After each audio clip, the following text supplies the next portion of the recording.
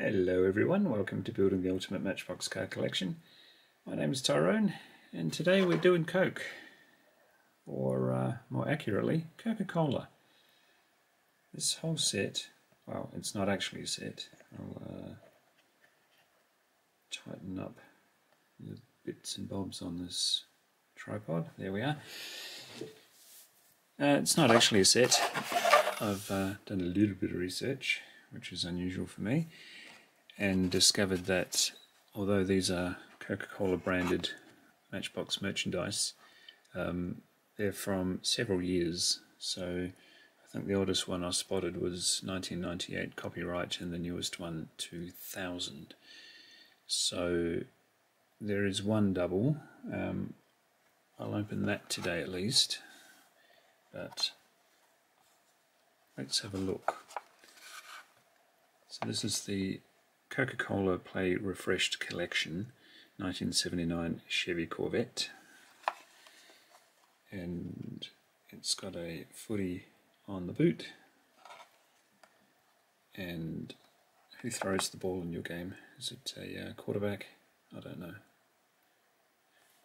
A fence? Don't know. Uh, Coca-Cola bottle on the bonnet and the familiar logo. I, I brought out a few support acts, but um, not many. You can see in this one where um, 20 years in, the rubber from the rubber band has perished and given up, flicked off to the side. There is the back in all its detailed glory. So there's the Corvette. I'll put him over there. Um, where are we? Let's stick with Corvette. This is 1957. This is a bit lighter, which leads me to believe the base would be plastic. But nice detailing. Again, the uh, lucky band has perished. I don't think I'll be keeping all of these in the card on or on the card um, because it's not a, a complete set. And I do like to look at the cars up close and personal. I'll go for another convertible, this being the 1953 Jaguar XK120. I've got um, a few fancy schmancy matchbox ones of this already, but not in Coke. Gee, you wouldn't want to be driving around certain neighbourhoods with that on your uh, license plate, would you? Anyway, nice wheels. Headlights are done. So Santa Claus on the bonnet. Crafted by the greatest name in diecast. I think they've got a few challenges to that title. There's back if you want a freeze frame. Um, won't get to that one because that is the double and we'll be opening that one. Look at this beauty. 1971 Chevy Camaro Z28. One of my all-time favourite American muscle cars. Someone's driven over the whole thing. Beautiful detail on the back. Yeah, I would imagine that this is coming out of its box at some point. I'll do a separate video on a package destruction. Um, this is nice and heavy, um, but I still don't think that's a metal base. I think I have one of it, um, not Coca-Cola, but um, regular, but it has a metal base. It's really heavy. This is the 1998 Ford Expedition. Utility vehicle, do we call those? That's the back. I got told off for not showing the back clearly enough recently, so make sure I do that. And one of the ones I really like collecting is the Ford Transit. 1955, ooh, that's a uh, mistake. Nine? Ooh. Hmm. Clearly not a 1955. What would that be? 1995? I don't know. Not 55, folks. Hmm. Van full of Coke. There is the back. That's quite an interesting little oversight. Hmm. Um, ah, and the other thing I noticed about this, well, the one thing I noticed, which wasn't the 1955 earlier, is uh, that wheel is touching the wheel arch. Maybe they've put it in a ditch at some point. Driver was on a sugar high. Moving right along, the 1998 Chevy Camaro SS convertible. It's a beauty. I dare say this is where um, the muscle cars kind of lost their way, in my opinion. They went uh, a little bit too sleek. Maybe they invested in a wind tunnel or something and realised the coefficiency wasn't great. They should never have done that.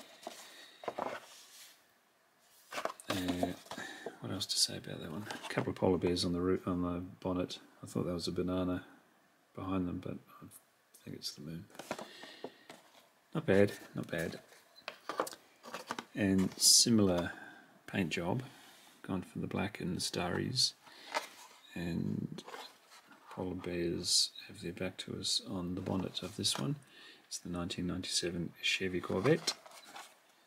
Uh, just keep reminding myself of the backup cars so I don't forget all about them. Tail lights are done quite nicely. The wheels suit this one. Freeze frame that if you so wish. And probably the heaviest casting of the whole bunch, actually, uh, might be a tie. This is very heavy. This is the Ford box van. Um, good detail on the back. Got one of those uh, roofs. Um, they were popular with uh, 20 year old houses or houses built 20 years ago here. You go into the theatre room or, or the um, media room of the house, um, the show home, and they'd have um, tiny little sparkly lights in the ceiling twinkling away. That's what that reminds me of. It's a little bit out of date now. But oh, here's the back. And we'll go for that other really heavy one. This might beat it actually. And this has gone for some roof art as well. Polar bears.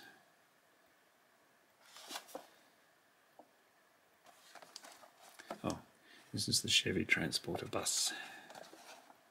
I have this in green. Really heavy. Although that grill looks plastic. Maybe it's just the full metal body. I believe it is. Yeah. Mm -hmm. And got basketball on this one. 1996 Pontiac Firebird Ram Air. Tail lights done. Nice black interior. Not sure about the basketball on the bonnet. Indicators are done. It's going in for the big shot. On the back. Um, we'll go for the last convertible. It's a 1994 Mustang Cobra. Again, taillights are done, no license plate on this one different card design than some. Big old headlights. Nice wheels. And the back of the card. Um, go for the third to last is this one, the 1970 Pontiac GTO. This is a really nice one. They've done a good job. Nice big beefy car.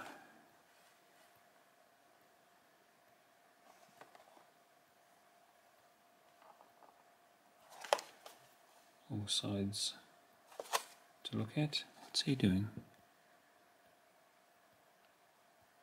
Is that soccer?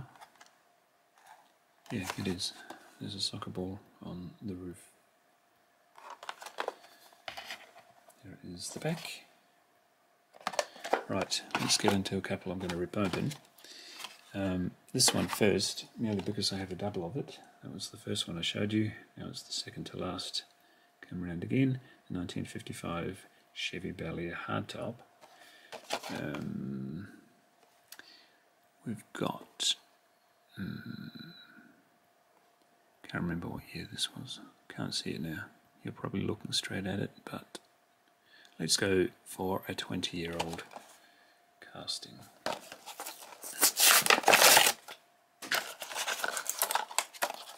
Free at last. See what happens to these uh, funny little rubber bands. Just age.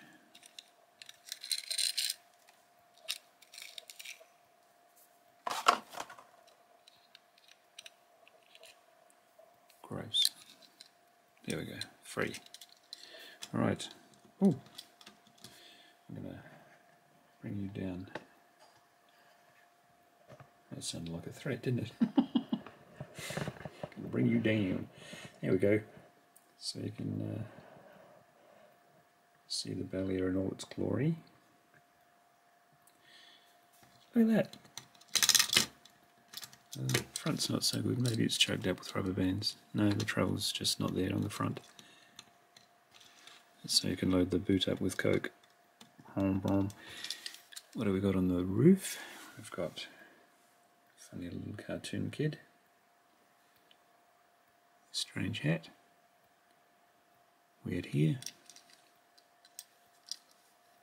So, plenty of detail. Got a very intricate badge on the hood, including the hood ornament. That's nice. Is that imperfection there? Hmm. Too critical.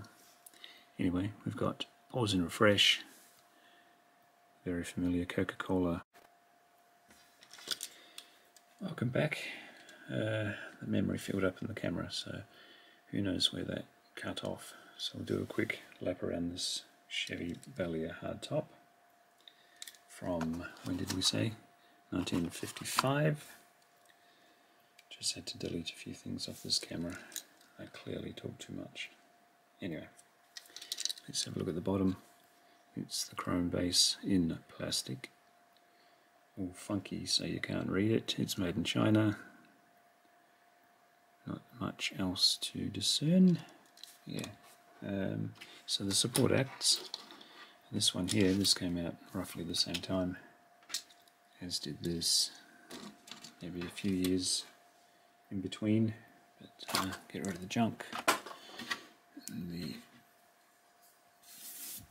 funnily sticky pens. There's the box. I'm not sure what you'd do with that box. I'm not sure if the, the car fits back in it. It's a strange shape. Oh yeah, okay. There we are.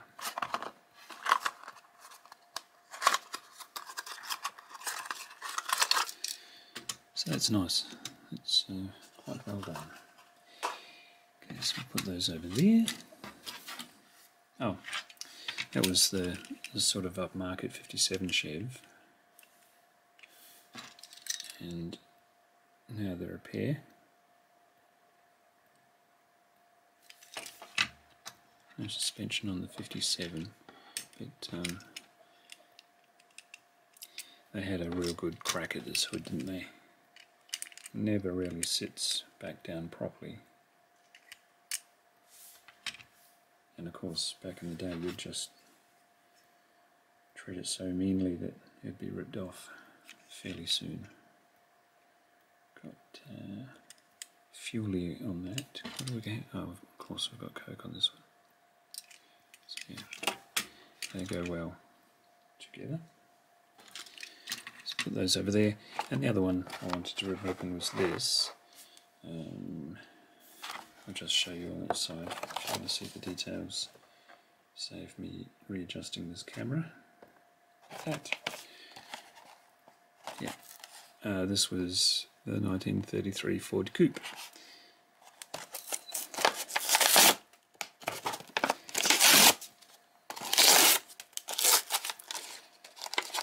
Left alone for 20 years, come to my place, see what happens.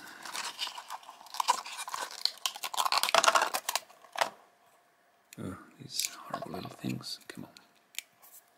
Might have to clean these up later. I'll get the most of it off so we can have a decent look at it.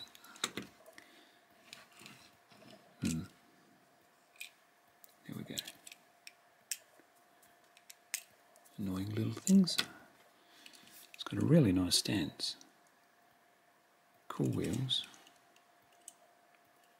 Big old engine. Got the uh, crate of Coke on the door. Again, same license plate as the others. But I wanted to show you where the street rod has been and gone in Matchbox. And that's the absolute latest. So, shove the in crowd over there. Actually, we'll uh, even up the table for the last shot. Mind everything whizzing past your eyes. Things hit floors. Gravity takes hold. Here we go. Yeah. So that's that one. And the one I wanted to rip open anyway for a future video is this one. Uh, same casting 1933 Ford Street Rod. Did they call that the street rod? No, Ford Coupe. Hmm. Anyway, let's get this one open.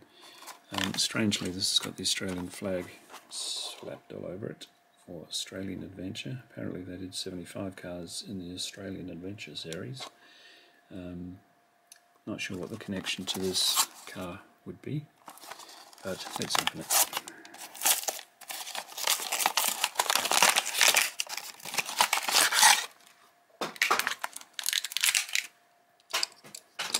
Okay, so clearly not premium, but it is nice nonetheless. As we cover the table in mess. We've got that lovely swooped grill. We've got plastic non-treaded wheels on the yellow one.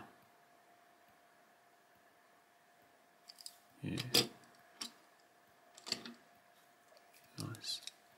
Yeah, obviously much higher level attention has been paid.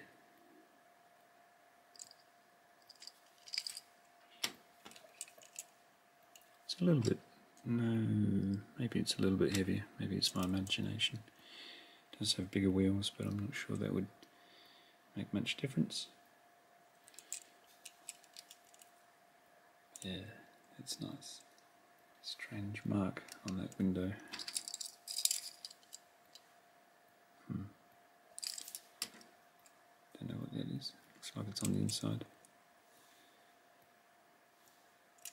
Yeah, very happy to have both of them out of their packet today. So yeah, that was a strange little look at some of the marketing ploys Mattel has done over the years. Um, this one with Coca-Cola.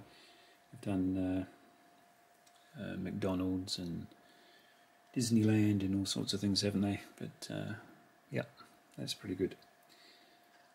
So let's see if we can get you off that dropping you. And there we are. I don't think I left anything out today. I normally figure that out three minutes after I've stopped the camera, but I think we're good today. Hope you enjoyed the video. If you did, hit the like button, subscribe if you haven't, and I will see you next time. Bye.